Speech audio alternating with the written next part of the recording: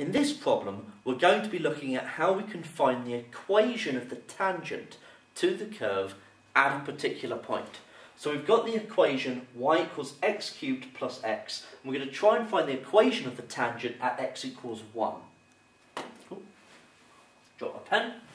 Okay, so we start off with y equals x cubed plus x, and we differentiate it in order to find the gradient function.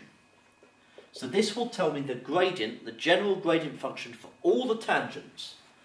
So the 3 comes down to the front, take 1 off the power, and x differentiates to 1. So this is the gradient function. At x equals 1, the gradient Okay, notice the notation is 3 lots of 1 squared plus 1. So you substitute x is 1 into the gradient. So 3 dots of 1 plus 1 is 4. So the equation of the tangent is y is equal to 4x plus c. So that's my equation of the tangent.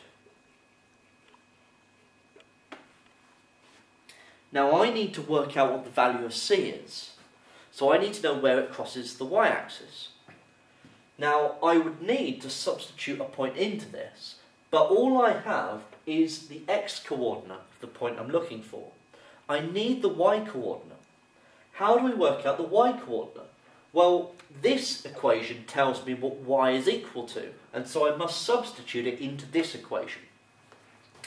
So when x equals 1, y is equal to 1 cubed plus 1, which is 2.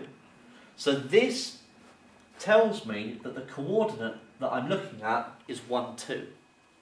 So if I substitute 1, 2 into my equation of the tangent, I get 2 is equal to 4 plus c, so c must be minus 2.